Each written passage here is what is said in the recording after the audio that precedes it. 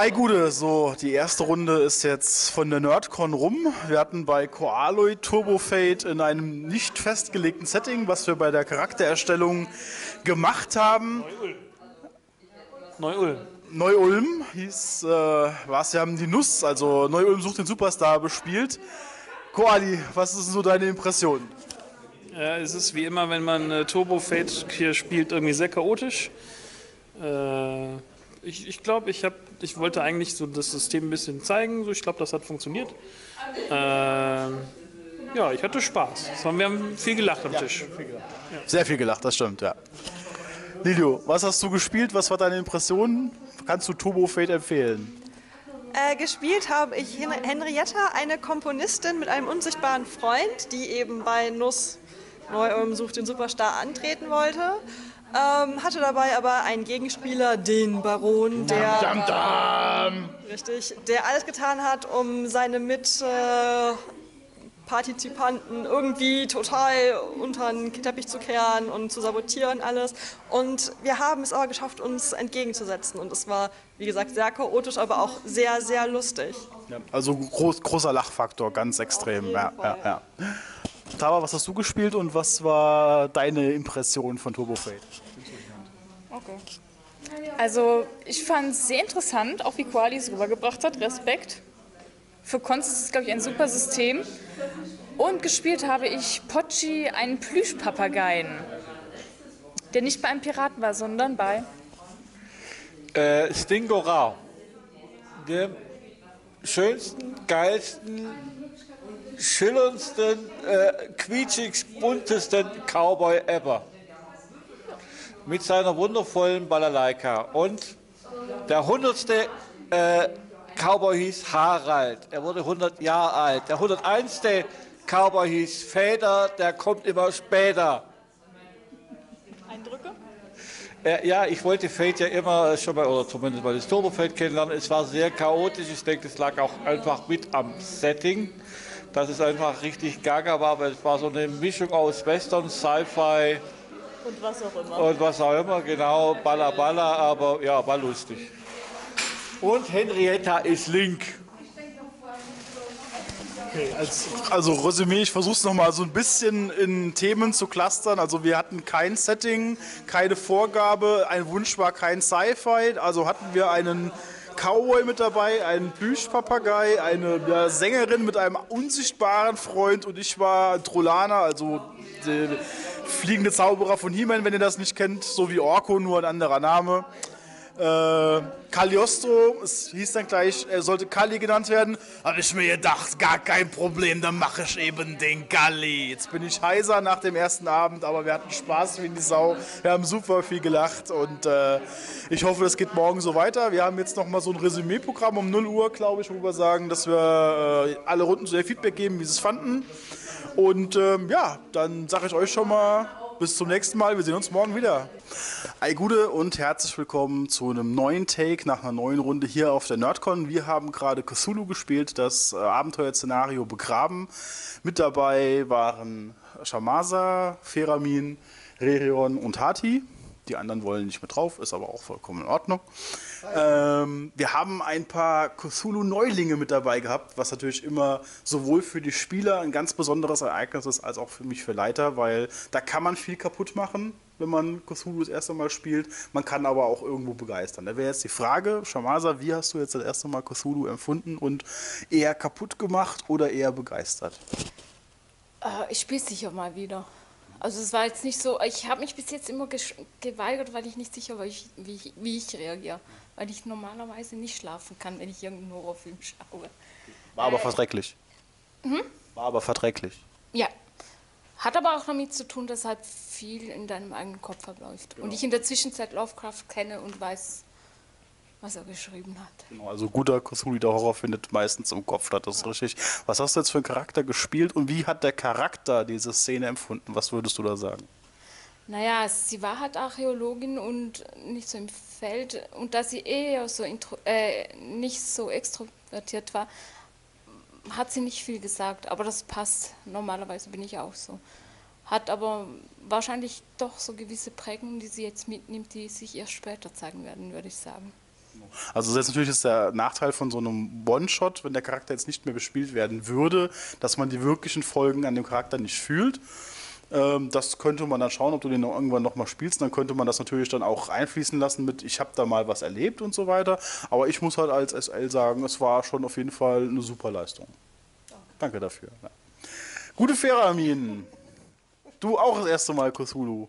Wie war so dein Resümee davon? Wie hast du das empfunden? Und äh, No-Go Cthulhu jetzt oder würdest du es wieder spielen?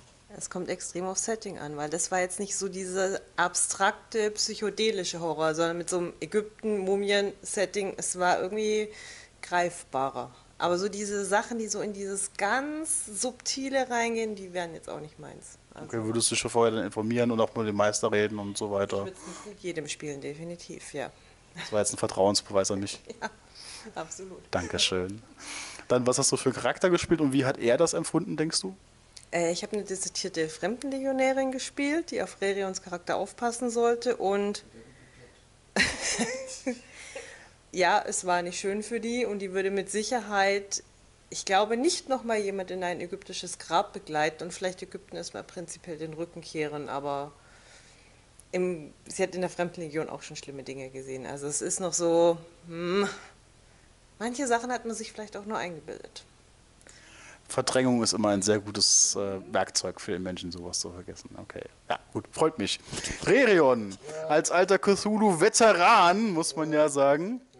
Äh, ja, wie fandest du die Runde jetzt auch äh, in dem Kontext, dass wir, ich sag mal, einen semi-begabten Meister, was Cthulhu angeht, dabei haben, erfahrene Spieler, aber auch Neulinge, also was ja wirklich so ein bunter Mischmasch an, an Rollenspiel, Erfahrungen, Befähigungen und so weiter ist.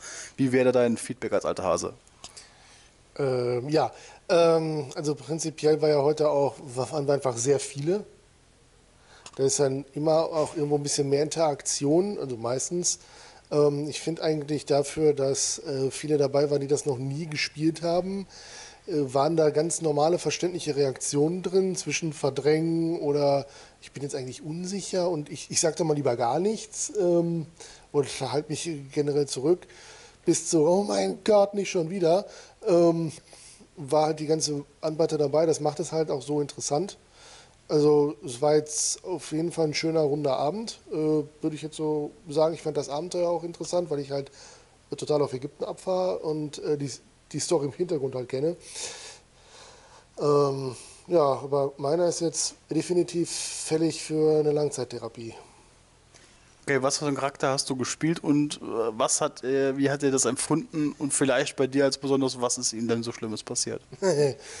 ähm, ich bin äh, Antiquitätenhändler, also ähm, auch ein bisschen Schmuggel dabei, also schon mal, dass er sich halt Sachen einsteckt, so du in den Pyramiden gefunden, findet, und er so ein bisschen sch- das Sprachrohr zu den Arbeitern ist und ähm, ja, Schlimmes passiert. Einiges, also seine komplette rechte Hand ist äh, verbrannt und äh, er hat gesehen, wie irgendwo auch ein Kumpel von ihm äh, zu einem äh, wandelnden Skelett geworden ist und ähm, schwarze Hände und äh, Nebel und Schleimzeugs äh, widerlich und bla und noch dazu kackt ihn dann irgend so ein Professor von der Seite an und er weiß eigentlich gar nicht, was, was das Ganze sollte.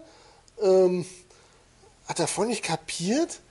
Äh, ja, äh, also prinzipiell hat er auf jeden Fall mindestens drei Psychosen entwickelt in der Zeit und äh, wird jetzt mal und er wird jetzt definitiv erstmal versuchen, das zu vergessen. Vermutlich wird er sich die nächsten Wochen mit Alkohol ertränken ähm, und dann mal sehen, wie es weitergeht.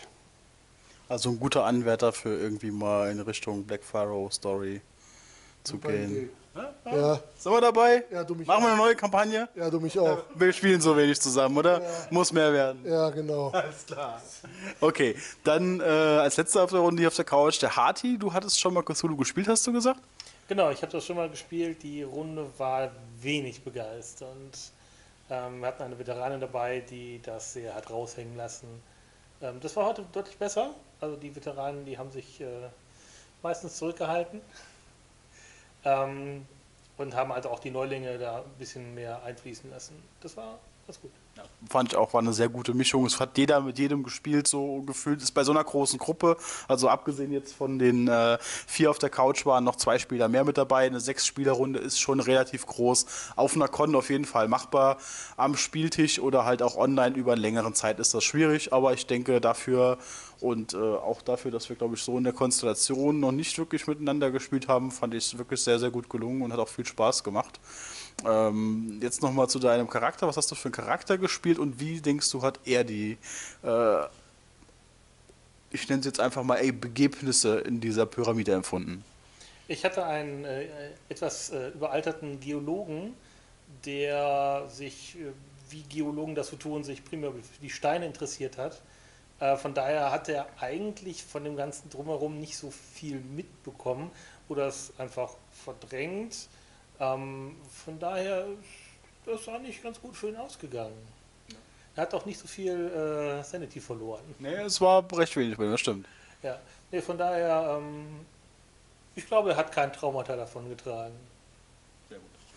Ja, also wieder mal als äh, Resümee unterm Strich eine gelungene Runde auf der Nerdcon. Wir hatten viel Spaß, so wie jetzt für meinen Teil äh, die letzten Tage hier. Und ich habe heute schon mal mit der Orga gesprochen, äh, ob es da eine Folge Nerdcon geben wird nächstes Jahr.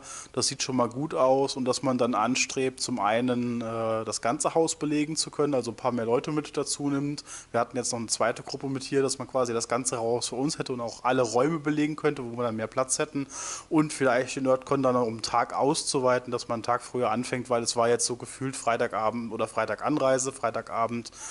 Äh, ja, zwar spielen, aber man war müde. Jetzt der Samstag war wirklich aktiv und morgen ist halt einfach nur noch Abreise, dass man das ein bisschen strecken könnte für die, die Interesse haben. Aber wenn es da konkrete Sachen gibt, äh, halte ich euch auf jeden Fall auf dem Laufenden.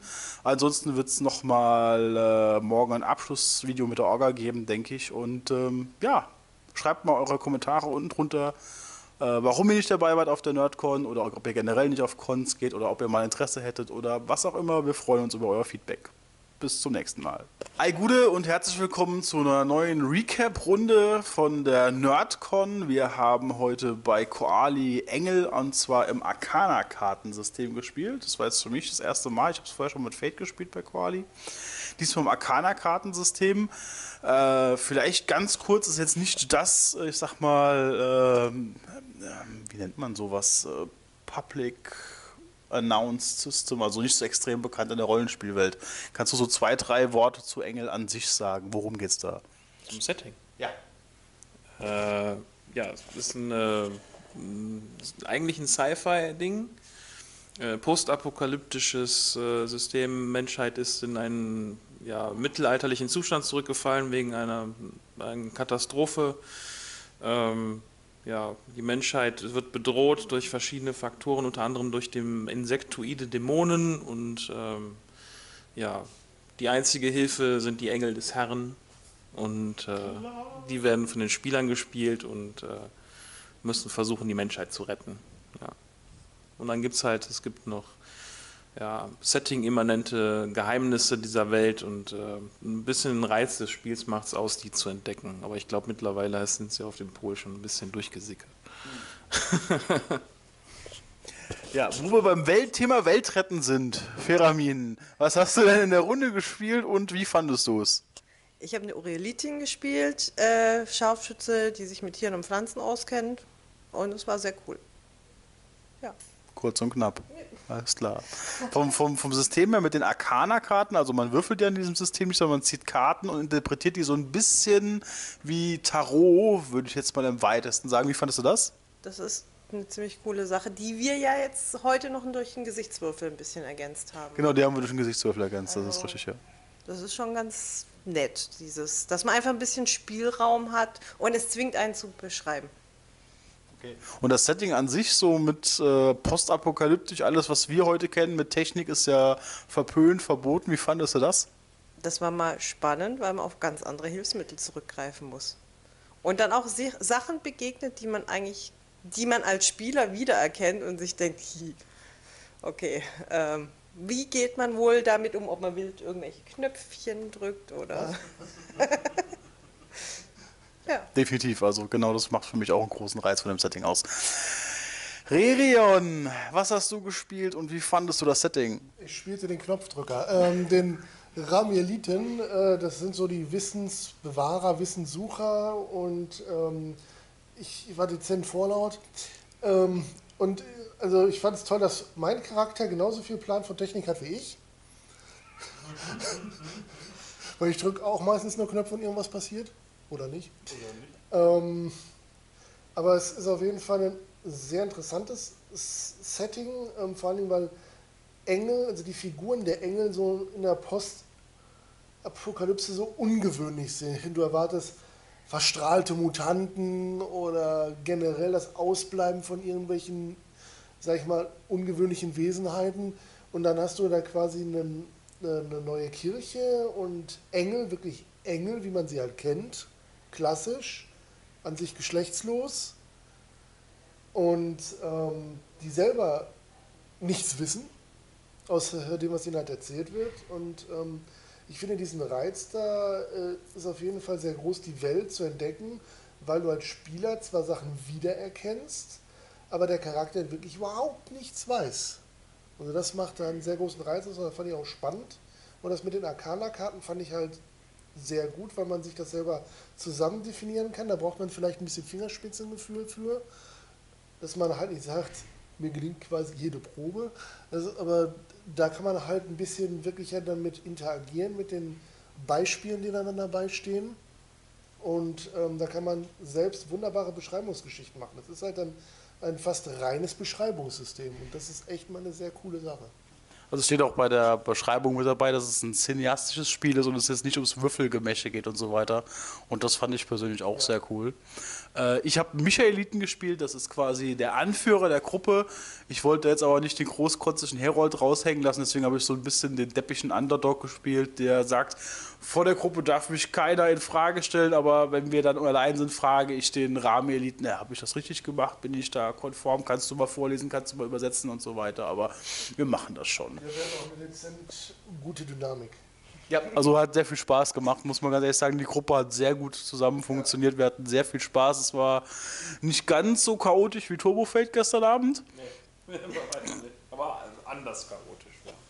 Ja, aber es hat auf jeden Fall super viel Spaß gemacht. Also kann man jetzt unterm Strich sagen, wir sind jetzt mit dem offiziellen Teil der Nerdcon mit den Runden durch. Alle Runden, die ich mitgespielt habe, haben super viel Spaß gemacht. Ich habe mal wieder mit anderen Leuten gespielt. Es war auch eine andere Art von intensiv, jetzt nochmal zwei Tage, sag ich mal, Tischrunden zu spielen, weil ich das ja sonst nie habe. Das war auch nochmal ein extra Feeling. Was ich ja sonst an Tischrunden nicht mag, ist die Rüstzeit irgendwo hinfahren, da muss noch Pizza bestellt werden und so weiter. Das fiel jetzt hier zum Glück weg, weil wir halt dafür extra getroffen haben das ganze Wochenende. Das war halt mal wieder richtig cool, muss man ganz ehrlich sagen. Ja, gut. Ja, das war äh, ein weiteres Feedback-Video von der Nordcon. Wenn ich die Orga und Admins morgen nochmal zusammenkriege, gibt es nochmal so ein Resümee-Video von der Nordcon. Vielleicht einen Ausblick, man munkelt schon oder auch noch nicht, das sehen wir dann. Aber auf jeden Fall äh, bis jetzt einfach super cool, wenn du das siehst und warst nicht dabei. Du hast sowas von verpasst, mein lieber Mann. Und äh, jo, bis dann.